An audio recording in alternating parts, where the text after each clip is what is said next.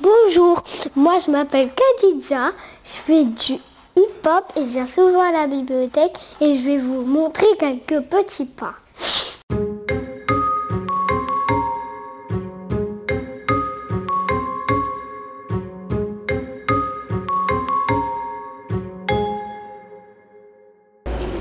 Bonjour et bienvenue à la bibliothèque Louise Michel. Nous sommes ici dans le 20e arrondissement à l'est de Paris, dans un quartier mixte et historiquement populaire.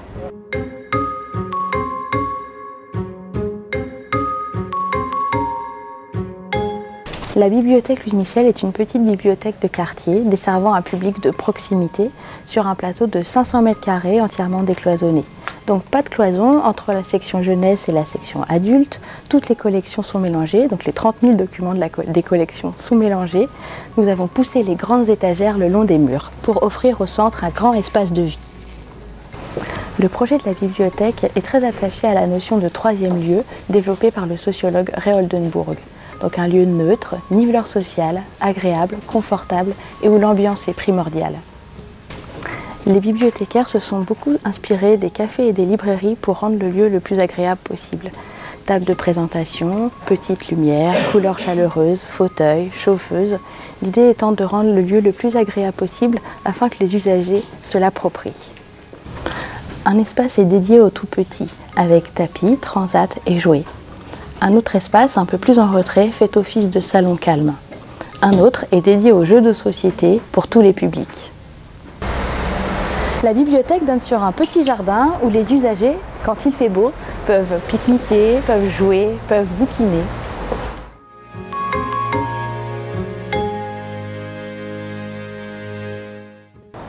À l'étage, nous disposons d'une salle de travail silencieuse dédiée à l'étude et au calme, une terrasse sur laquelle nous pouvons étudier et bronzer en même temps, et une salle d'animation polyvalente dans laquelle euh, nous pouvons proposer plusieurs services comme euh, les jeux vidéo, des ateliers d'illustration, mais aussi l'accueil des tout-petits ou des projections de films. Ainsi aménagée et disposée, la bibliothèque Louis Michel offre plusieurs parcours, plusieurs services afin que le public s'approprie au mieux le lieu. Ben, on fait l'été les samedis matins et les mercredis pour, euh, pour les gens qui viennent, les lecteurs qui viennent, pour leur, euh, ça leur fait plaisir. On l'accueille avec des thés et des cafés tous les samedis matins. Et quand il y a des visites, euh, quoi. Mais en passant avec les, les chariots d'été ou les gens qui viennent se servir, on discute un peu, on parle de rien, du tout, de tout, de rien. C'est ça, non? Ça permet de connaître les gens qui, rentrent seulement dans la bibliothèque, qui disent bonjour euh, sans te regarder. Quoi. Mais si tu leur proposes du thé ou café, vous avez un peu de moment à discuter un groupe. Donc ça fait passer un bon moment. Quoi. Voilà, c'est ça. Home away from home, c'est une expression qui traduit bien l'esprit du troisième lieu. C'est un troisième lieu cultive comme caractéristique le fait de se sentir comme à la maison. Et souvent, les lecteurs nous disent qu'ils se sentent comme à la maison ici, parce qu'ils se sentent comme dans leur salon, avec la vue sur le petit jardin.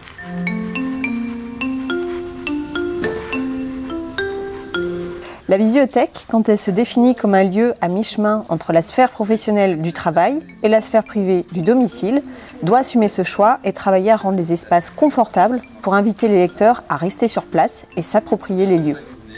Déconstruire l'image d'une bibliothèque figée dans le silence et les interdits, c'est la première étape d'une démarche plus globale. Car on ne vient pas à Louise Michel uniquement pour emprunter des livres. On y vient aussi pour discuter, jouer aux échecs, regarder un film, bouger sur une partie de Just Dance. Ce sont autant d'usages légitimes du lieu à partir du moment où il permet aux visiteurs de s'y sentir bien, de pouvoir s'approprier la bibliothèque et d'en faire un lieu familier et agréable. Pour nous, l'équipe, tout l'enjeu est là. On doit dépasser le rôle figé du bibliothécaire qui reste dans une posture de professionnel et proposer un rapport moins institutionnel avec les lecteurs. Ce qui passe par un accueil personnalisé, par le sourire et une attention particulière. Et c'est de cette façon qu'un climat plus chaleureux et plus convivial peut s'instaurer à la bibliothèque. En toute logique, nous préférons expliquer, dialoguer plutôt que réprimander. Ici, on ne dit pas chute, le téléphone est permis et on peut même venir avec son goûter après l'école. Pourquoi?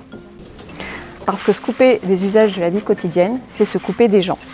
Créer un climat chaleureux et convivial dans la bibliothèque, c'est une première étape indispensable à la participation. Il s'agit d'un travail actif pour l'équipe et c'est aussi une question de positionnement. Alors déjà, le café de Louise, euh, je l'ai connu par l'intermédiaire de cette bibliothèque qui était toute nouvelle dans le quartier et bienvenue. Donc euh, mon idée de venir et de participer au café de Louise, c'était surtout de rencontrer et d'échanger. Le café de Louise et le goûter des pingouins grouillants sont deux moments conviviaux proposés par la bibliothèque qui reflètent bien cet état d'esprit. L'un pour les adultes, l'autre pour les enfants, ce sont des temps d'échange autour des livres, musique ou films que les gens ont envie de faire découvrir au reste du groupe, au même titre que les bibliothécaires. C'est quand même bien sympa d'avoir euh, des échanges, des rencontres. Et puis c'est une façon aussi de connaître un peu ses voisins, puisque les gens viennent du quartier. Et puis de se faire des amis, pourquoi pas. Le premier livre que je voulais vous présenter, c'est un livre qu'on a présenté il y a un petit moment au Café Louise. Je me suis quand même sentie autorisée à vous le représenter parce que dans mon souvenir, c'était quand je suis arrivée, donc il y a trois ans. Je me suis dit, bon, il y a prescription, je peux peut-être leur en reparler. C'est surtout que euh, la première fois, je crois que c'était Fanny qui en avait parlé. Et euh, moi, je l'avais gardé en mémoire depuis longtemps. Et c'est un livre qui est chez moi depuis un petit moment. Et euh, voilà, j'ai décidé de me lancer dedans. Et c'est génial. C'est un de mes coups de cœur les six derniers mois. Je ne vais pas faire un top 5 comme Pierre-Marc, mais c'est vraiment un truc que j'ai adoré. Et pour rendre le moment d'autant plus convivial, euh, on prévoit le café les petits gâteaux pour les plus grands et goûter et bonbons pour les plus jeunes. Nous, bibliothécaires, savons bien qu'il est impossible de connaître tous les documents proposés à la bibliothèque, même si certains lecteurs semblent le penser. Alors que si on fait participer le public, le panel des coups de cœur qui peut être proposé sera beaucoup plus large et reflètera une palette de goûts bien plus grande. Euh, impliquer les usagers dans les activités et le fonctionnement de la bibliothèque, ça suppose euh, de la part de l'équipe un état d'esprit et un positionnement particulier. Faire participer le public, euh, cela implique d'accepter de la part du bibliothécaire qu'il ne soit pas le seul détenteur d'une forme de savoir qu'il serait chargé de mettre à portée du public.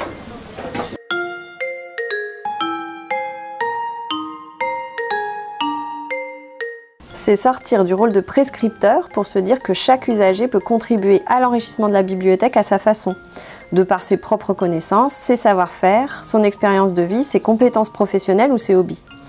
Euh, c'est se dire que la bibliothèque est un lieu d'émulation, d'échange, de débat, de rencontre, de mise en valeur de la culture de chacun et sous toutes ses formes. Le bibliothécaire est celui qui va permettre à toute cette richesse culturelle de s'exprimer au sein du lieu qu'est la bibliothèque.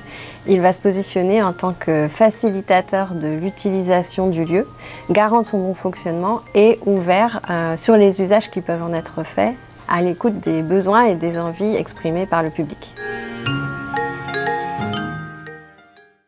Eh ben en fait au départ je suis pas venue proposer un atelier tricot, je suis passée, je passais à la bibliothèque.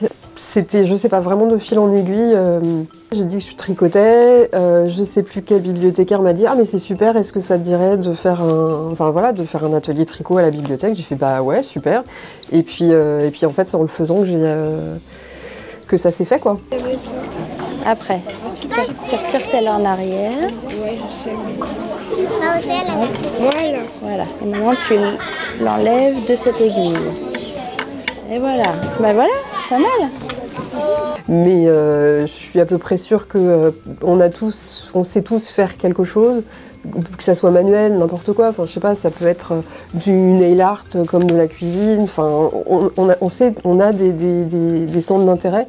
Euh, et il y a des gens qui peuvent avoir envie de les apprendre, en fait, tout simplement. Enfin, c'est vraiment cette histoire de la transmission. Et le fait que ça se passe, je trouve, dans bah, une bibliothèque, c'est un lieu un lieu de savoir. Et, euh, et, du coup, ça peut aussi devenir un lieu de connaissance. Et euh, voilà, moi, je, je trouve que c'est chouette, quoi. Faire participer les usagers à l'animation de la bibliothèque, ça ne veut pas dire les abandonner à leur sort, et ça ne veut pas dire non plus de les verrouiller avec un contrat signé.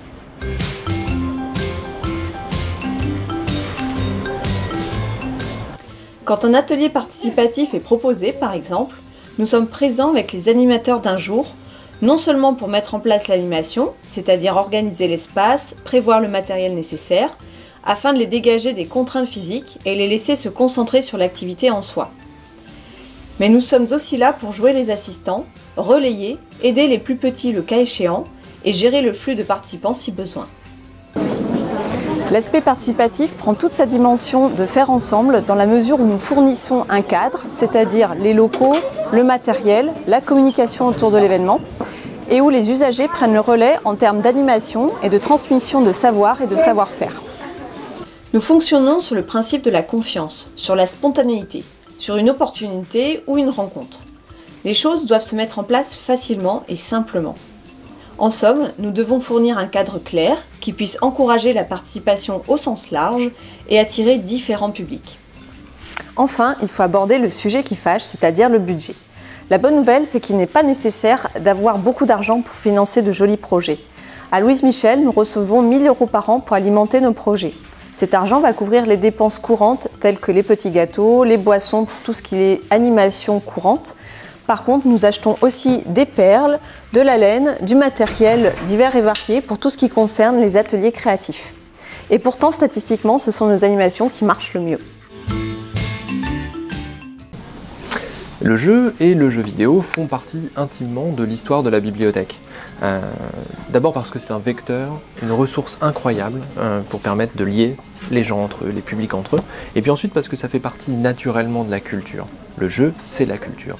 Et ça fait partie de la culture des bibliothécaires, mais aussi des cultures, des pratiques des usagers. C'est pour ça qu'on peut retrouver du jeu partout dans la bibliothèque.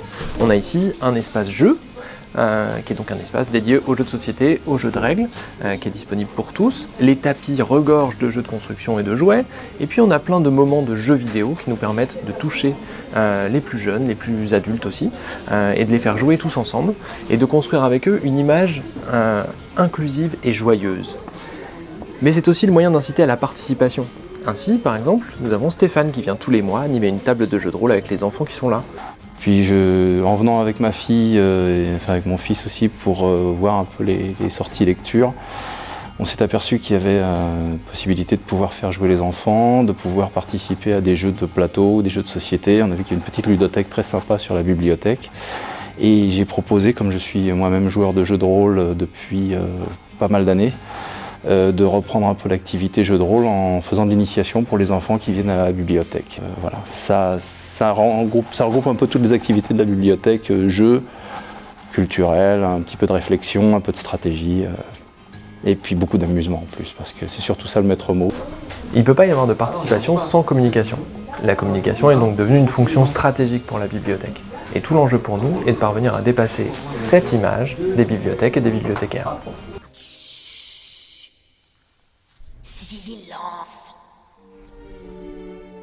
Qu'est-ce qu'elle a de si effrayant, cette vieille bibliothécaire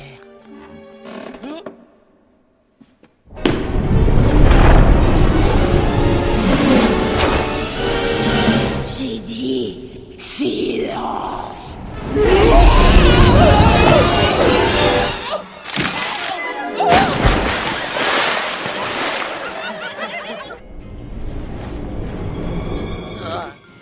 Il nous incombe donc de construire l'image de la bibliothèque et pour le faire, nous avons à notre disposition tous les outils de la communication numérique que nous mettons au service de trois objectifs informer, divertir et créer.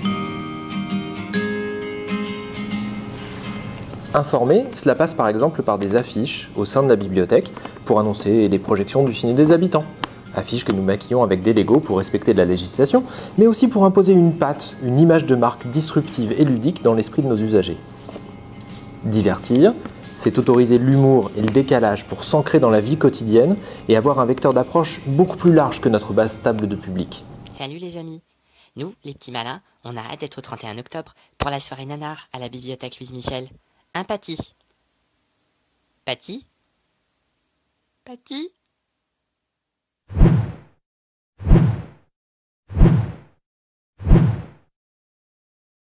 Pâti?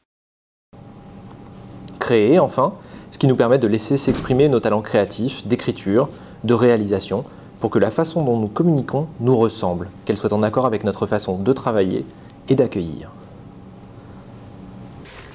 Bonjour à tous et bonjour Louise. Bonjour Michel Alors qu'est-ce qui se passe aujourd'hui? Pourquoi on est là devant vous? Eh bah tu vois Michel, à partir de maintenant, tous les mois, on va venir vous voir et on va venir parler à tout le monde pour expliquer ce qui va se passer à la bibliothèque. On va faire ça à la cool. Comme, nous. nous quoi. Et alors, c'est parti? C'est parti Eh bien, bienvenue sur Télécanard, la seule chaîne qui ne vous prend pas pour des Coin, coins. La communication fait donc partie pour nous de notre cœur de métier et elle est partagée au sein de l'équipe pour représenter toute notre diversité créative. Euh, ce faisant, elle tâche d'être la plus inclusive possible afin de se rendre accessible au plus grand nombre. On vient de le voir, la communication numérique nous sert principalement à construire une image, une ambiance propre à construire la participation. Mais la concrétisation, la conclusion de la relation participative, elle, se passe plutôt à l'oral. C'est dans la relation directe de personne à personne que nous sommes en mesure de recueillir les envies, les besoins, les désirs de participation et que nous pouvons donc les rendre possibles. La communication, qu'elle soit écrite, numérique ou orale, est donc un élément fondamental dans la construction d'une pratique et de projets participatifs. Et dans le même temps, la participation, elle contribue elle aussi à façonner notre image.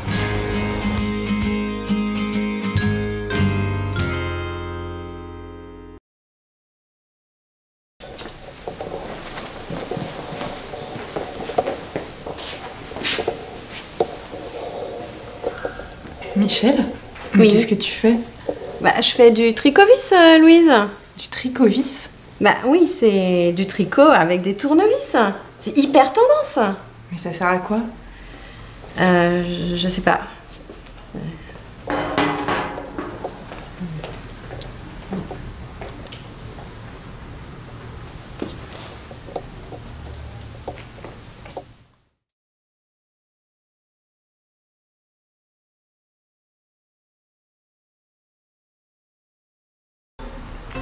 La Tutothèque est un projet que nous avons lancé début 2016. Il s'agit de réaliser sous forme de courtes vidéos des tutoriels proposés par les usagers sur toutes sortes de sujets et mis en ligne notamment via le site de la bibliothèque. Donc bonjour, je suis Willy the Cat et on va faire des oiseaux patates. Coucou, je m'appelle Philippe, j'ai 10 ans et aujourd'hui je vais vous apprendre comment monter des mailles. Bonjour, je m'appelle Graziella, j'ai 13 ans et je vais vous montrer comment faire des nattes sur la tête de Mélanie. Bonjour, moi c'est Déborah et aujourd'hui je vais vous apprendre à faire les Scooby-Doo. Ces tutoriels sont proposés par les usagers de la bibliothèque, enfants comme adultes, les bibliothécaires se chargeant de la réalisation et de la mise en ligne. C'est un moyen de valoriser une fois de plus les savoir-faire de notre public en prolongement des ateliers créatifs. Le format vidéo est idéal pour circuler sur Internet, bien au-delà même du cercle du public venant à la bibliothèque. Euh, Du coup, la bibliothèque crée du contenu, valorise les compétences de ses usagers et se positionne sur un réseau connu de tous. Mais au final, qu'est-ce qui est important dans une démarche participative? Une équipe convaincue, partie prenante de la démarche et qui prend des initiatives. Travailler à une image ouverte, dynamique et bienveillante. Un cadre clair et partagé par tous. Une politique d'accueil développée, propre à créer du lien. De la débrouillardise et de la créativité. Être ouvert à toutes les cultures, tous les savoirs et tous les talents. Faire confiance. Et se faire confiance. Ne pas s'auto-censurer. Et considérer que la participation fait partie prenante de notre cœur de métier. Et puis s'amuser en faisant des choses sérieuses. Et vice versa. Alors à bientôt Et maintenant, c'est à vous de jouer.